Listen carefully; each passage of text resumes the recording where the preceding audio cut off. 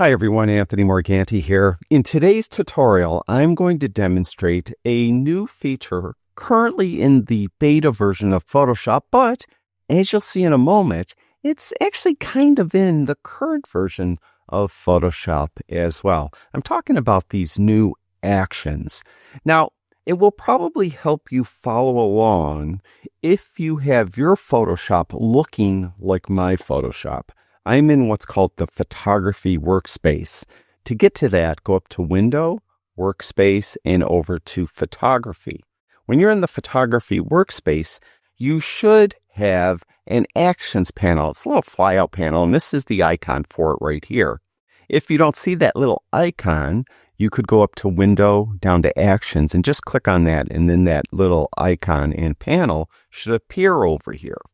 Now, what these actions are and why they're different than the traditional actions that are in Photoshop is that they use AI to examine your image, determine what your image has in it, then it gives you suggestions, up to 15 different suggestions of actions you could run on the image to get a specific look. So if I click on this, and I can make this bigger by going down here and just pulling down, you'll notice at or towards the top, there are these five suggestions, and these are based on my image. And you'll notice that some of them have like a little monitor and eyeball next to them. Those will actually give me a preview if I hover over them. So if I strongly boost the vibrance or I want to do that and I want to get a preview before I actually apply it, I could just hover over that and you could see what it did. If I want a black and white sepia toned image, I could hover over that. If I want to make the subject pop, hover over that. If I want to increase clarity, I could do that. I could generate a custom background, but that isn't going to give me a preview because with this action, I actually have to give it a prompt. And I'll run that in a moment, show you what I'm talking about. So for that one, I could change the background and I could say, you know, put her on a busy street or something like that. So that's why that doesn't uh, give me a preview. Now, I mentioned that in the current version of Photoshop, uh, these options are kind of in there, except, except it doesn't use AI to examine your image and give you suggestions. And I actually have done videos on these in the past. So I'm going to go to the current version of Photoshop.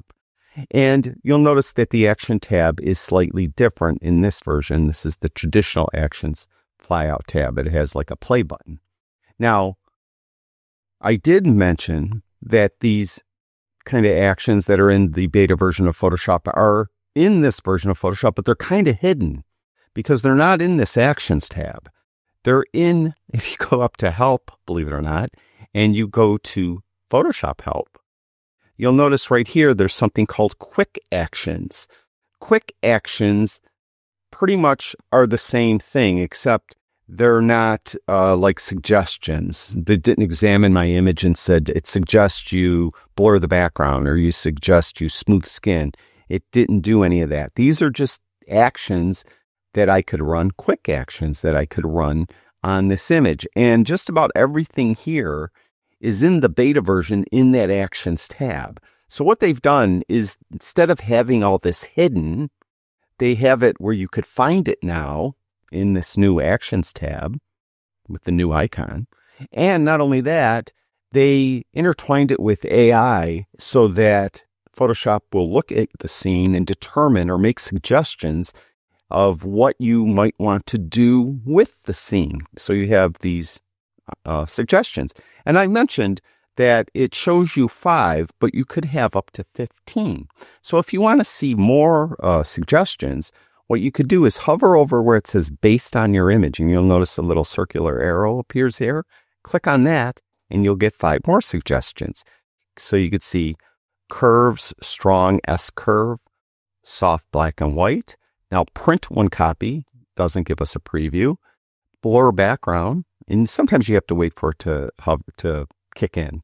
That's blur background and cool shadows, warm highlights. And then I could go over here and hover over based on your image again and get five more. And then we have black and white.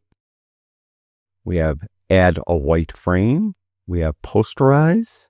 We have photo repair, soft contrast, and then we have brighten the image.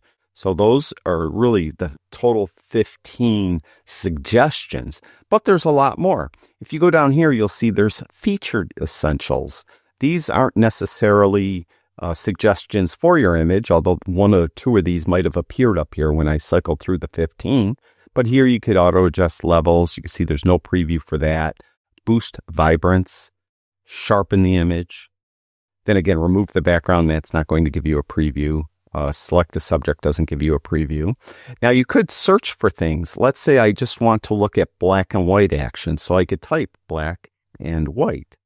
And then it's going to show me all the different black and white actions. And I could, again, the ones that have that little monitor icon with the eyeball, I could hover over it and get a suggestion. You'll notice as I hover over these, the actual layers panel is changing and showing what will happen. So it's adding you know, another layer. These I found are non-destructive. Every one I've run is non-destructive. So it never works on your original background layer. It will work on a copy of that layer and it will add everything on top. So you could see, you could search for specific types of actions you want to find. And one little tip I uh, learned is if you just want to see everything, just put a space in this and then you'll see that you'll have all these different actions. These ones that have the color, these are actually traditional actions that are in Photoshop. They could have been the ones that just came with Photoshop, or they could be ones that I added, third party actions like the actions I have with my Photoshop course that you get. Those will show up with these kind of color backgrounds. But then again, you could see all the actions here and the ones again that you could see previews of, you could hover over. So you could see everything there is right here, and you can see that there are a lot of different actions. Now, what if you want to get to these um, actions? Let's clear out of here totally. What if you want to get to those traditional actions, the ones that were in Photoshop or in the current version of Photoshop? And if you've installed third party actions like the ones I have with my course, go to yours and you'll see the default actions are right here. Roll that open. You can see they're there. The ones I have for my course are here. Um, if you don't like the way they look, what you could do is you could go to this little flyout menu here and you could just go back to classic actions and then go to that flyout menu again and turn off button mode. And when you turn off button mode, then they're just like the regular actions like they are in the current version of Photoshop. But you'll notice those new actions are gone to get to those again, you need to go up and you have to go down, down here to where it's take it off classic actions and put it on actions. Then you'll go over to suggested and you have those suggested actions here. So let's run some uh, here. Let's. I mentioned that um, that I would uh, switch out the background just to show you the, what that one did.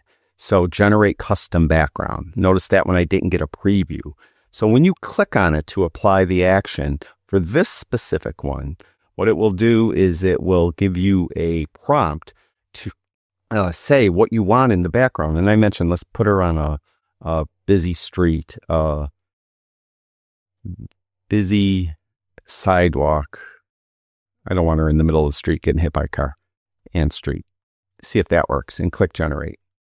So like any generative prompt in Photoshop, it's going to give you three options and you could choose from the three variations and uh, pick which one you think is best.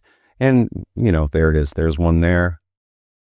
There's another one there. It doesn't look right, does it? None of those look right. Maybe that one looks the best of the three, maybe. Maybe that one. I don't know. They all kind of look just totally out of place.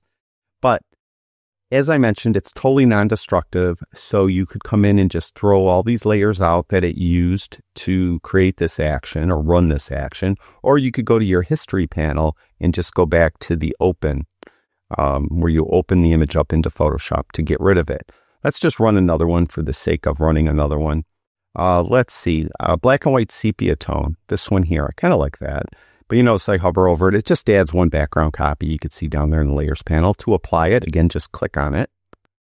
And you could see it ran it. And that's it. And if you don't like it, just take this and take it down to the trash can and throw it out. So the new actions panel in Photoshop. And you could run more than one. I could make the subject pop by clicking on that. And you can see what it did.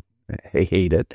Um, and then we could uh, strongly boost the vibrant. No, we don't want to do that. How about a black and white sepia tone? But you can see all the stuff that did here uh, to the um, to the image. Now, if you are going to add another one and you have a lot of layers like this, what I suggest you do is you either flatten this.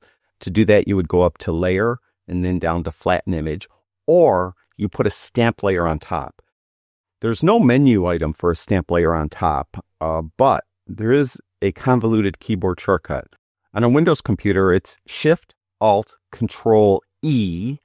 On a Mac, it's Shift, Option, Command, E. And when you do, you'll have a stamp layer on top, and then you could come in and put another action cleanly on the previous action. So you could strongly boost vibrance if you wanted to do that. So those are the new actions that are in the beta version of Photoshop and will probably find their way into the current version of Photoshop sometime soon. Thank you, everyone who watches my videos. I really do appreciate it. I'll talk to you guys soon.